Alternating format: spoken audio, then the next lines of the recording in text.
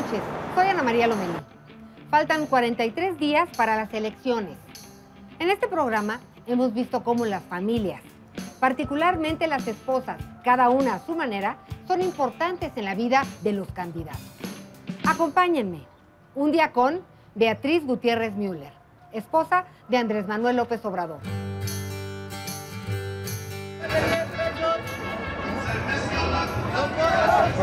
Gracias. Muchas gracias, Andrés.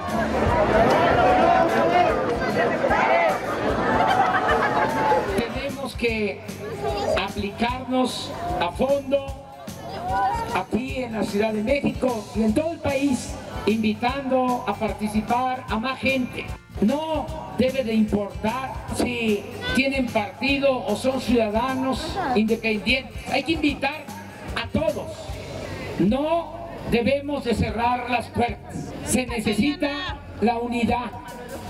Y ustedes me conocen, pero también hay que decirle a los que dudan que no vamos a fallarle al pueblo de México, porque vamos a cumplir todos los compromisos.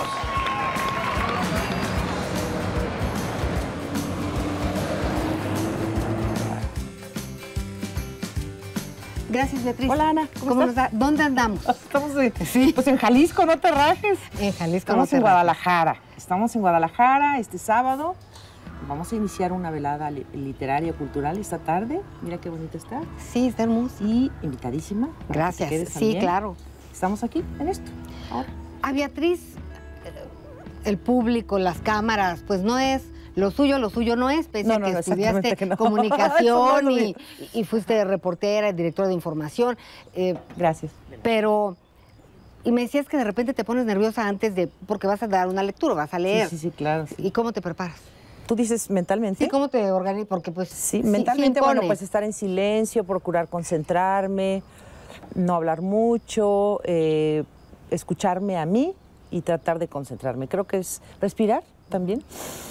Respiras, te tranquilizas y empiezas y ya. Es, es, así es como trato de enfrentar el pánico escénico que tengo. Oye, mientras, me parece que Andrés Manuel ya, si no es que ya llegó a Nuevo León. Pues sabe, no traigo ahora, pero Sí, yo creo que sí. Era la, la ¿Será última que- parte que- de, de su sí? gira de hoy. Y andamos en otro lado, fíjate. Él está por allá y yo estoy por acá. A veces coinciden, a veces A veces visto con él en, Sí, en sí, eventos sí, de en campaña, ocasiones lo foto de acompaño. Jesús. Porque justo Jesús está en la escuela y pues no puede faltar, ¿verdad? Claro. Eh, Pero es importante que él también tenga normalidad y que se sienta seguro, que esté tranquilo. Creo que cualquier mamá lo haría, tratando de crear un espacio para que la familia esté tranquila. Oye, y hablando de crear un espacio para que la familia esté tranquila, pues Jesús tiene 11 años. Desde que él nació, pues su papá ha estado en campaña. ¿Cómo le dices, eh, cómo le has explicado cómo es el trabajo de papá o cómo llevan esta parte? Pues más que, más que explicárselo, lo ve y lo vive. Nosotros hemos tratado de combinar actividades de cada uno con las actividades de todos. Y hemos acompañado a su padre desde hace muchos años a lugares diversos, ¿no? Lugares pequeños, grandes, en fin, yo creo que él solo se ha ido forjando una idea de la actividad de su papá. A lo mejor al principio no entendía por qué su papá trabaja hablando, ¿no? Sí. ¿Sí? Todo el tiempo. O Habla, sea, ¿no? sí. O sea, ¿cuál es ese trabajo que tiene tu padre? Pues mi papá habla.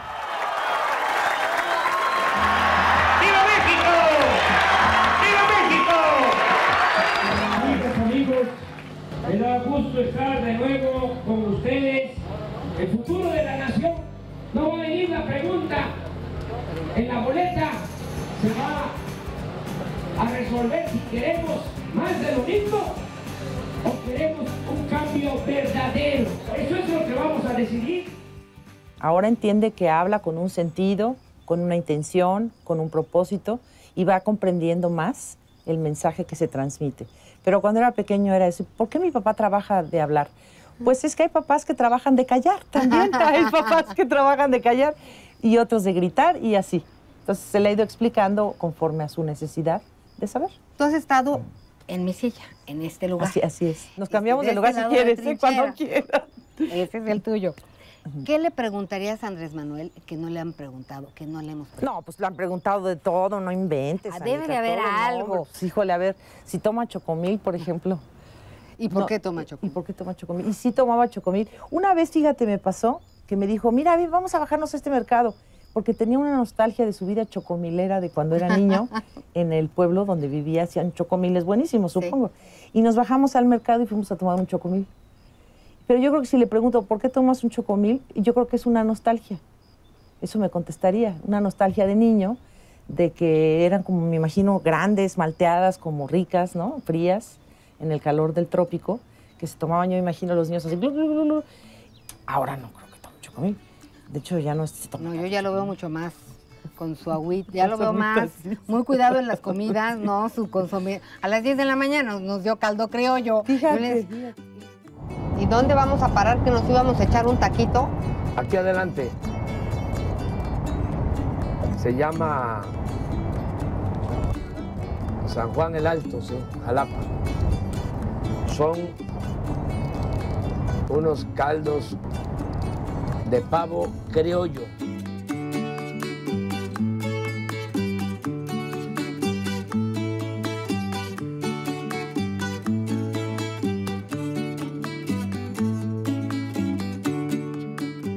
Dejamos ni comer. Me dijo que este es el típico.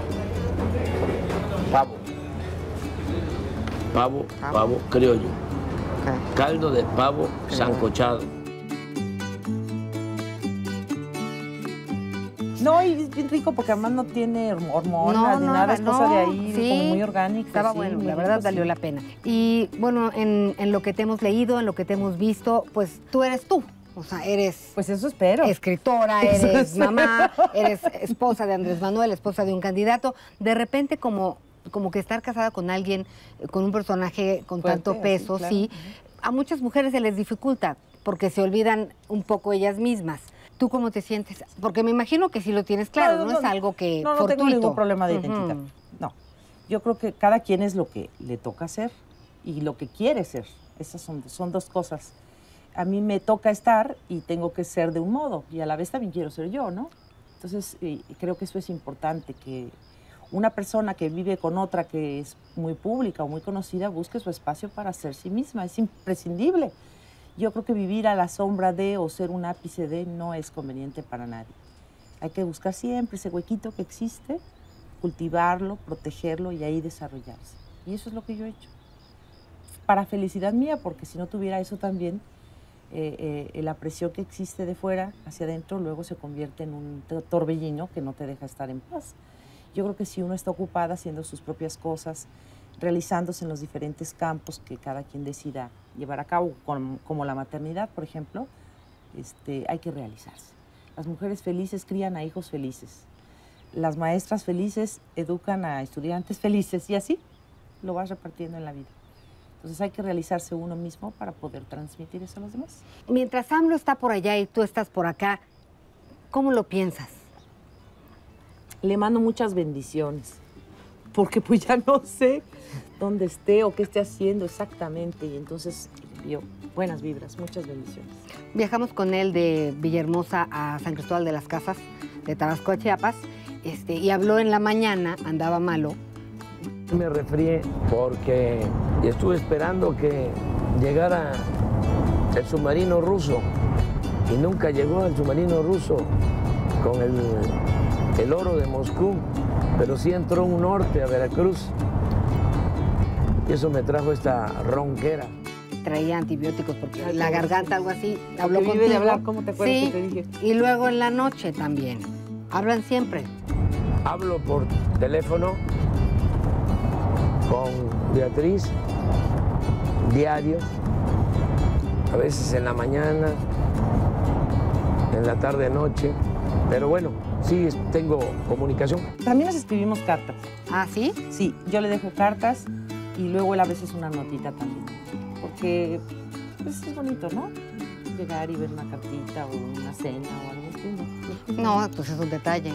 Y mientras y que dure por siempre. Mientras te vuelves a ver. mientras, mientras. Oye, mientras te vuelves a ver a solas, porque esa es Claro, otra, claro, ¿no? claro. Y a solas. también has comentado que tú prefieres el AMLO sereno. ¿Cómo ganas las batallas con Andrés Manuel? ¿Cómo le haces?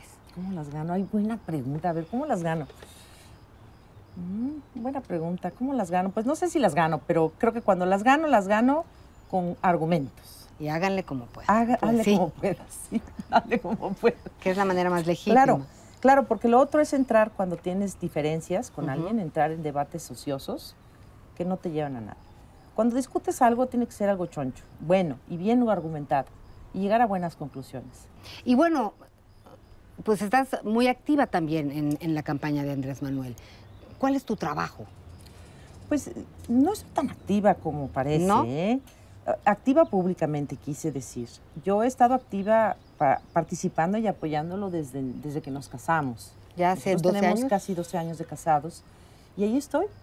Lo que pasa ahora es que se juntan dos factores. El primero es extraño. Ahora hay un interés eh, mayor por las esposas o las familias o los entornos de los candidatos. No sé por qué. Esa es una razón. La otra es que también eh, Andrés Manuel López Obrador dijo que la tercera es la vencida. Y yo me la.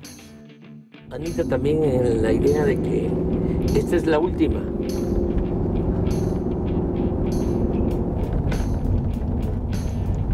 Eh, ya no voy a volver a ser candidato. O sea, obsesión no es. No, no. O sea, eh, eh, o a Palacio Nacional o a Palenque, Chiapas.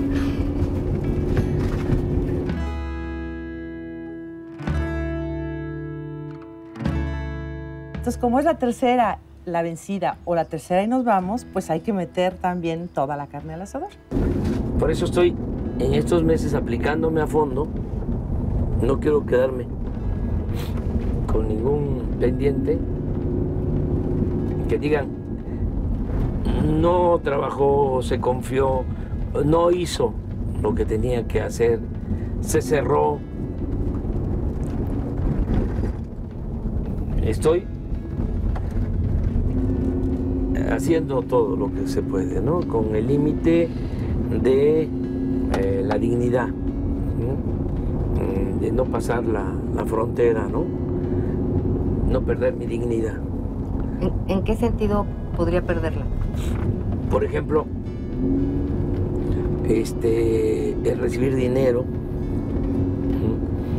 de procedencia ilícita, o sea, el ganar por ganar, triunfar a toda costa, sin escrúpulos morales, eso no, nunca. La dignidad no tiene precio. Eso lo tengo clarísimo.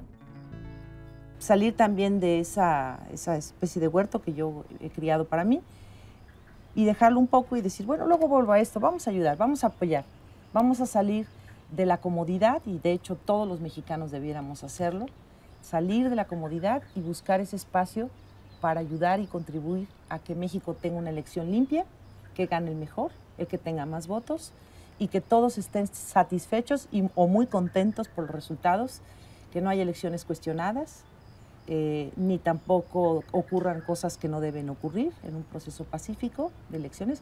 Y yo estoy poniendo esa parte, contribuyendo a que gente abra sus ojos, participe en, en- en campos diversos. Y no necesariamente son públicos. Afortunadamente hay ánimo, la gente quiere un cambio y va a haber un cambio verdadero. Oye, ¿y esto sucede cada cuánto o cómo? Mira, la última fue en Tuxtla Gutiérrez, la hicimos creo que en abril, no, eh, hace unos dos meses más o menos. Y antes habíamos hecho una en Veracruz, Puerto. Son, son experimentos que estoy eh, llevando a cabo con, con amigos, escritores, eh, músicos, con la idea esta de llevar, descentralizar el arte por un lado, la cultura, llevarla a los lugares en donde hay más violencia, esa es la propuesta inicial, y sobre todo con artistas locales. Estamos apoyándonos mutuamente para que eh, los artistas que, que desempeñan trabajo y que a veces no tienen un foro para poder dar a conocer su trabajo, aprovechemos de hacer este trabajo en conjunto y, este, y sea multidisciplinario. Y es Lo una mismo- plaza pública. Sí, claro, y eso es importante también, que sea gratuito y que la gente que gusta eh, quedarse o que ha sido invitada y, y decide asistir, disfrute y se regale a sí mismo un, un momento de reflexión, de paz, de poesía, de, de amor, inclusive también. De alegría. De, de, tranquilidad, ¿no? Es como, quiero, digámoslo así, que emprendamos una conquista de palabras, para las palabras, para la paz, algo así. Entonces, si vamos viendo que funciona bien, como, como hemos ido experimentando, lo estaremos haciendo después en otros lugares, sobre todo en lugares donde hay más violencia. Pues vámonos a la tertulia, ¿no? Vámonos, pues ahora chicos, vénganse, vamos a, embarrarnos un poquito de arte y cultura que nos ayuda siempre el corazón. Así es. Para que no se nos pudra el alma, ¿eh? Nunca lo olviden. No, pues gracias, Beatriz. México es un mosaico cultural. Son muchos Méxicos. Es muy importante nuestro querido México por su pasado histórico, cultural. Yo tengo la dicha enorme de conocer el país y disfruto también de los recorridos por México. Oye, ¿y las redes sociales cómo te sientan? Mm, pues son muy útiles. De repente te veo en Facebook ahí. Con los memes. Con alguno que otro meme. Pues también hay que reírse, ¿no? De, pronto, porque si te lo tomas todo demasiado en serio, pues te vuelves muy aburrido o aburrida. Este, hay que divertirse un poquito, a veces poner un... A mí me gusta utilizar ese espacio para difundir las cosas que hago, como esta que estuvimos viendo, de libros, en fin, novedades editoriales, alguna entrevista interesante. Y escribes todo, porque sí, eh, eh, estás como en etapas, ¿verdad? Ahorita sí, estoy, este es un libro de poemas que publiqué este año, en febrero, lo editó la Universidad Autónoma de Nuevo León, lo cual felicito porque si no los autores no tenemos donde nos publiquen poemas. oye, qué difícil, ¿eh? Sí, no, es, dificilísimo. De verdad. Entonces hay que solidarizarse. Este día que presenté este libro, llegaron jóvenes poetas de allí, de Nuevo León, me regalaron sus libros y eso pongo en Facebook, por ejemplo, ah. poemas de autores contemporáneos, jóvenes de varias partes de México y difundo su obra o les ayudo a ello. Entonces procuro también utilizar ese espacio para apoyar a colegas, a eh, colegas maestros universitarios, académicos como yo, pero también artistas, para que podamos irnos eh, conociendo en términos de qué está escribiéndose ahora, cómo son las técnicas de pintura, eh, arte popular, por ejemplo, eh, videos ahora la gente graba sus propias canciones, eso es hermoso. Y te encuentras unos talentos increíbles, ¿no? Oye, pues como tu promotor, lo que te hizo. Como mi promotor, ¿no? ¿Qué tal mi promotor? Eh, mi promotor. Pero pues se te da. Mira nomás. ¿No? ¿Y sí? ¿Te gustó? Sí, no, sí, sí, fue una experiencia súper linda. Yo quería ser cantante. Ah, ¿Sí? ¿Antes de periodista? Sí, antes de, nacer, yo creo. antes de nacer. Yo creo que es lo que... La música, yo siempre hablo mucho de literatura y demás, pero realmente la música es lo que más me gusta. Cuando algo así empieza a sonar, yo dejo todo lo que estoy haciendo. Yo no podría, nunca tengo música de fondo, como diría quién fue, Cortázar. Le preguntaron, cuando escribe usted, ¿qué música escucha? Y contestó, sabio, cuando escribo, escribo. Cuando escucho música, escucho música. Sí. Así me pasó. Ya vamos llegando. Se llama velada porque fíjate que en el 19, cuando no existía la luz, eh, este tipo de acontecimientos literarios se hacían a la vela. Entonces se prendían velas y conforme caía la tarde, se prendían las velas. Por eso se llama velada. velada. Las mentadas veladas. Entonces hemos, yo he querido recuperar el concepto para que reavivemos con arte y cultura las calles de, México, este, llenando de arte hasta que se sacien los violentos y los iracundos y le den a su alma un pequeño respiro en medio de tanta acritud. Bueno, pues ya llegamos y vámonos. Iván. Futura primera dama. Hombre, bueno, tú sí estás muy politizado, claro. ¿Cuál considerarías que debe de ser el papel de una primera dama? Si me preguntas a mí, yo te respondo después del primero de julio. Pero hoy te diría, yo creo que una primera dama debe ser una persona que represente a la mayor parte de las mujeres mexicanas. Mujeres eh, con pensamientos variadísimos, de edades diferentísimas, con ocupaciones y preocupaciones múltiples, pues que ojalá esa persona, esa, esa señora, a todo nivel, no solamente a nivel federal, lograr a representar a muchas mujeres y ayudarles. Hola, hola.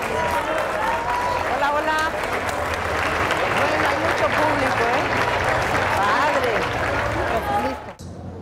Los hombres que pasaron hicieron las ciudades. A vos, Señor, os toca hacer los ciudadanos. Vamos a ir combinando. Esto es una cosa muy bonita de Jalisco. ¿Están listos? Es muy importante conocer el país, recorrerlo, ver el paisaje, eh, conocer la calidad del suelo, la orografía, saber qué se cultiva, a qué se dedica la gente, cuál es el potencial productivo de cada región, qué se puede hacer para mejorar la producción, crear más empleos, que haya bienestar. Por eso ayuda mucho conocer todo el país, saber qué se puede hacer o realizar en cada región de México. Eso lo sé muy bien. Anita, casi nunca hablo de esto, nunca lo he dicho, pero no hay un mexicano que conozca todos los municipios de México como el que te habla.